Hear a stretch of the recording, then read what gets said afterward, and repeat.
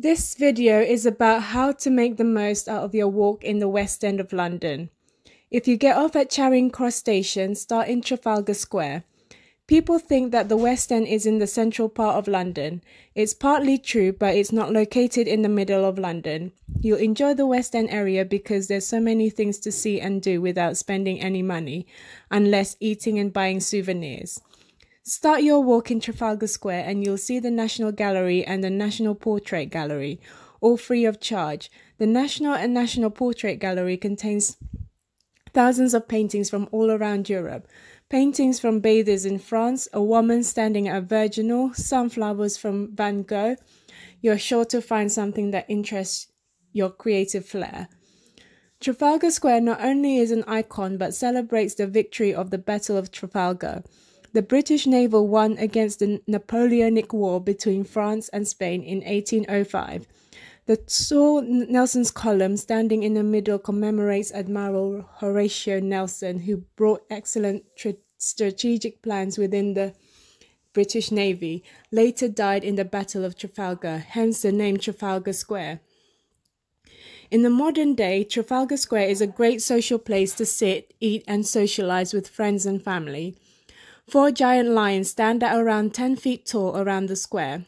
Lions have always been the national symbol for British celebrations, whether it be sports, victories during wars, and it symbolizes power and strength in the economy and other social statuses.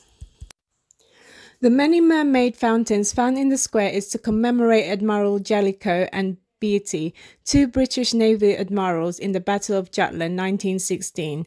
The UK has had many turmoil and downturns going back to the 11th century, and it has made our present country stronger and better economically, socially, and politically. To get to the West End, there are many options. The buses will be crowded, long but cheaper, whereas the tube will be shorter, more expensive, as well as crowded. Depending on where you are, take the numbers 13, 15, 23, 139 and 153, which all stop at Trafalgar Square and Aldwych, both a short walk from the market building in Covent Garden. The number 24 stops at Leicester Square and Covent Garden is signposted from there.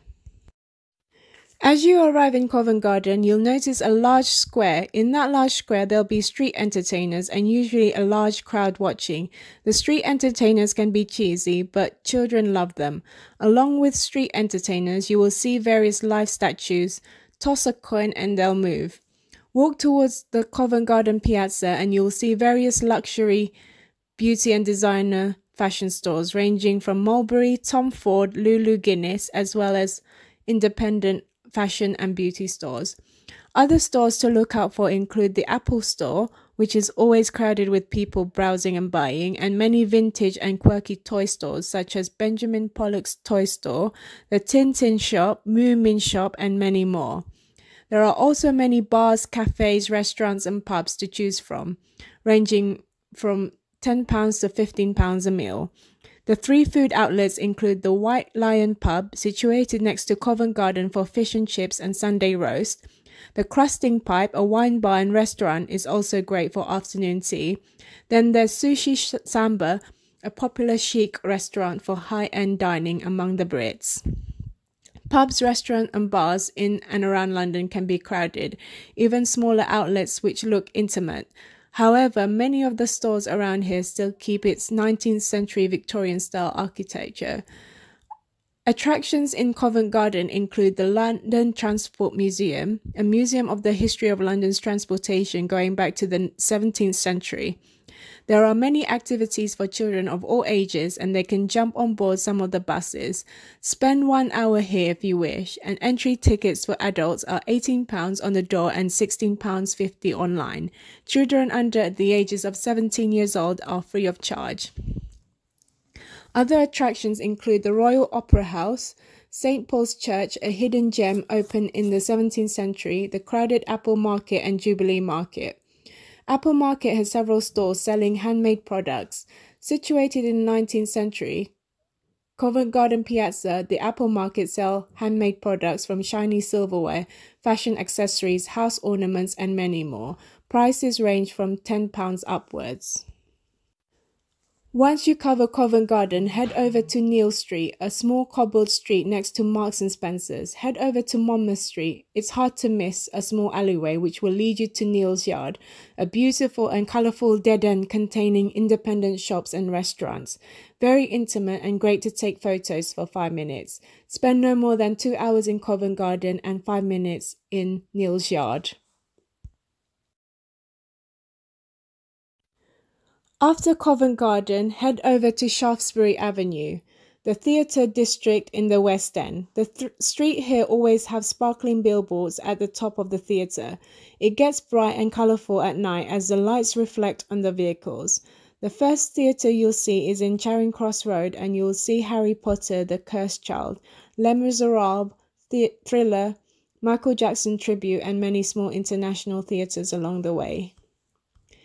Chinatown is adjacent to Shaftesbury Avenue, so make sure to take photos of the red lanterns strewn at the top of the buildings. Although Chinatown isn't as big as many Chinatowns from around the world, there are many Asian restaurants and supermarkets to choose from. Admire the many red Chinese lanterns strewn above the street and the colorful Chinatown gate. Chinatown can be remarkably busy day and night. Spend one hour here for lunch or dinner before a theatre show. Otherwise, relax here for as long as you please. After Chinatown, head over to Piccadilly Circus, adjacent to Shaftesbury Avenue. Piccadilly Circus is nothing more than just a giant billboard, a memorial, and a place to hang out. The only reason why it's so popular is because of its location, the West End. People usually spend time there after they've had a hard time shopping in Regent Street, which is linked to Piccadilly Circus. Other than that, people go there before and after a theatre show, a place to have takeaway lunches and watch and listen to noisy buskers singing by the Shaftesbury Memorial. It's the many streets linking to Piccadilly Circus that should be given special attention to.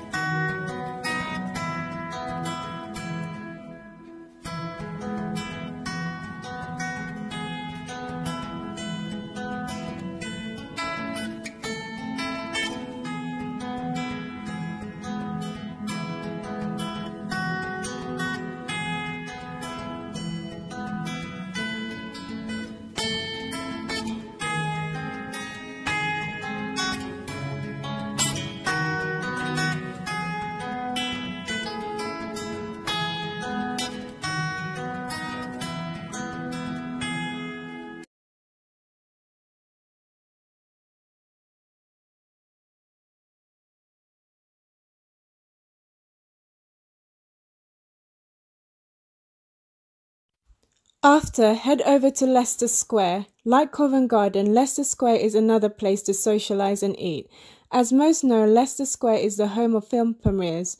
Leicester Square is, can be busy as Covent Garden, but the space is larger and you'd have more space to walk around in.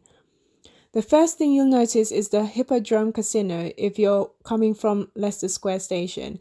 If you're coming from Piccadilly Circus, you'll see the terribly busy M&M store as well as street performers and buskers. If you're the gambling kind, the Hippodrome Casino is a great place to hang out. Like Covent Garden, you'll also see street performers around here, and if you plan to watch a theatre show, there are many booths around Leicester Square and Piccadilly Circus. The big TKTS ticket booths usually sell 50% off tickets for shows on that day up to a week in advance. However, still shop around for better deals. Make sure you buy your tickets on the day. The queues are usually long in these ticket booths, but the prices are worth it. Hang around in the square, you'll be surrounded by big giant oak trees, a tall Shakespeare memorial statue, and small fountains surrounding the statue. Children usually play in summer when the fountain shoots up. Check the Indigo restaurant on the ninth floor for a view of the London Eye and Canary Wharf.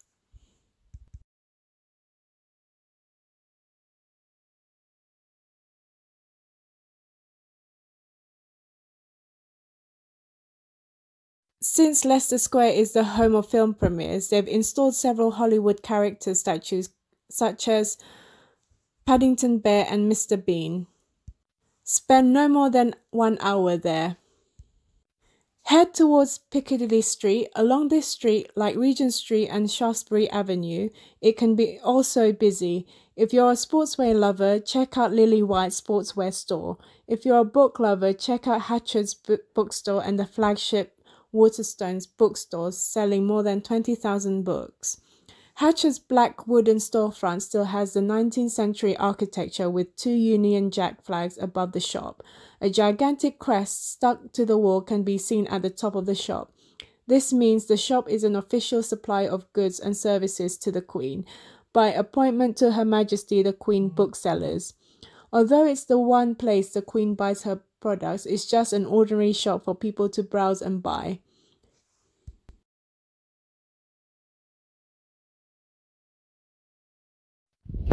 Nestled behind the small intimate Piccadilly Market, opposite the Royal Academy of Arts, is St James's Piccadilly Anglican Church, dating back to the 17th century.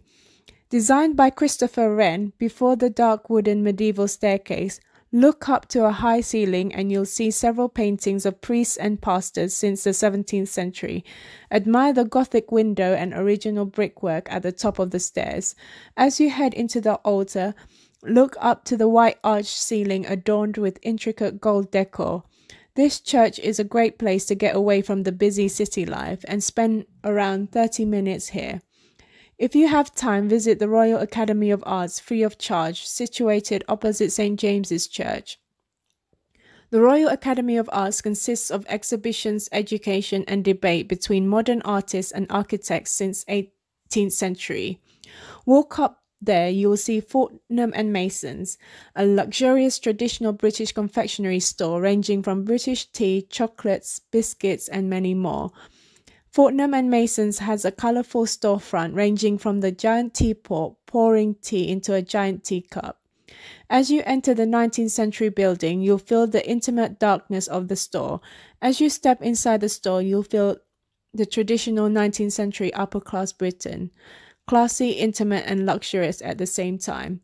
You can also book an afternoon tea here. Walk further up and you'll notice the Ritz Hotel. As many know, the famous Ritz Hotel serve first class fine dining in the heart of London.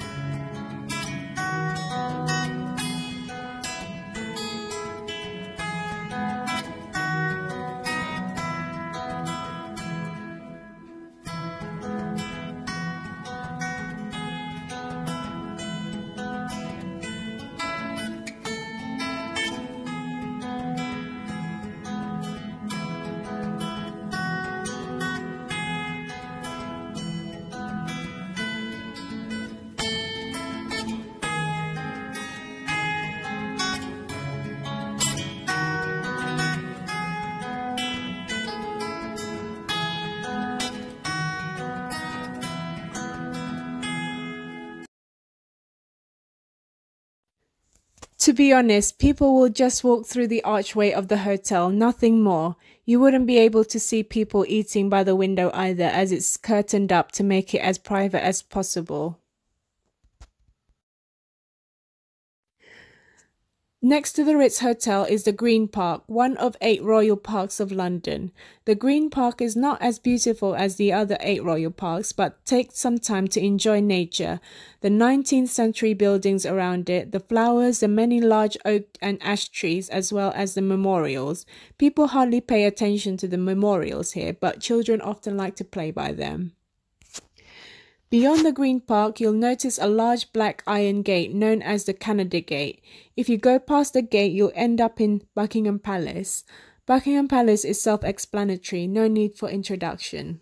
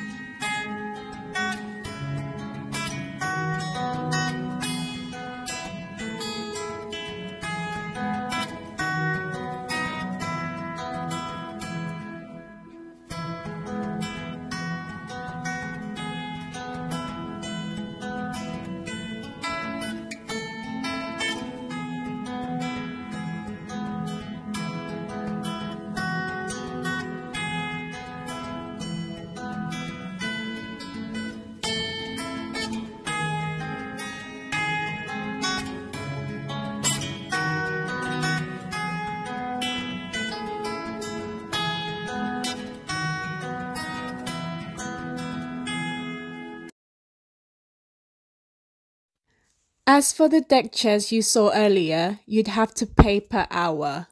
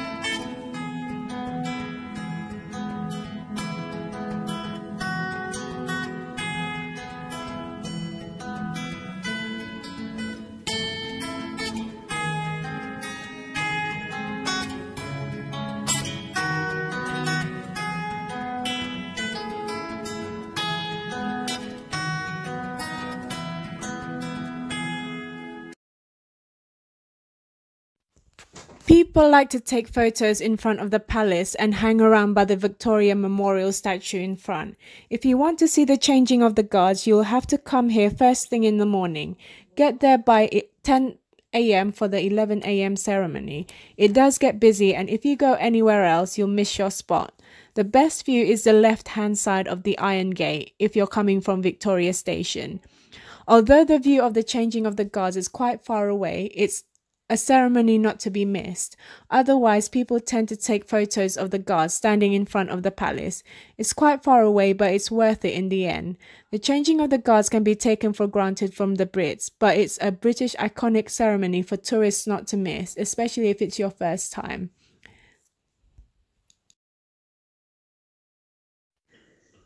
Next, Take some time enjoying the second royal parks of London, St James's Park. Unlike the Green Park, St James's Park has more activities for everyone. If you want to make the most of St James's Park, walk down the small steps towards St James's Lake. You'll see many ducks, swans and birds as well as wild greenery sprouting out of the water. While you're walking on the path, you'll notice several plaques which says Princess Diana Memorial Walk. This means the path is a memory to Princess Diana of Wales. Turn right, you'll notice several bushes opposite a white water fountain, not usually used, and several wildlife. Between the bushes, you'll see a great view of great 18th century buildings with a view of the London Eye and the lake. Go back to the path where you came from and walk up. You'll notice beautiful flowers on your left. Take photos of those if you wish. As you walk up, you'll notice a blue bridge over St. James's Lake. Take some time to take photos of the view of Buckingham Palace and the London Eye. This blue bridge is a great area to procrastinate and enjoy nature. Next to the blue bridge, you'll come across people crowding a large tree. Here, you'll see several green parakeets who are tamed enough to sit on your hand if you give them some food. Walk further up, you'll see a path going up to Duck Island. Here you'll see white pelicans sitting on the rocks. They are quite far away and it's hard to take a good picture, but at 2:30 p.m. it will be feeding time and you'll be able to get up close and personal with them. As you go around the park, you'll see Horse Guard Parade. Here you'll be able to see Horse Guard cavalry changing of the guards. There is a lot of waiting around. Further up, you'll see Churchill War Museum, a paid museum, and the children's playground. Go through Horse Guard Parade Archway. You will see two horse guards standing. Get up close and personal with the horses. You can pet them gently, but be careful they are not to be messed with. Turn left and you'll end up in Trafalgar Square again and the Free National Gallery. Have lunch or dinner there while enjoying the Trafalgar Square fountains and the Nelson Column. There is a Tesco supermarket if you wish to get a takeaway. If you have time, visit the South Bank area and you'll see Big Ben, Westminster Cathedral, the view of the River Thames, and many more.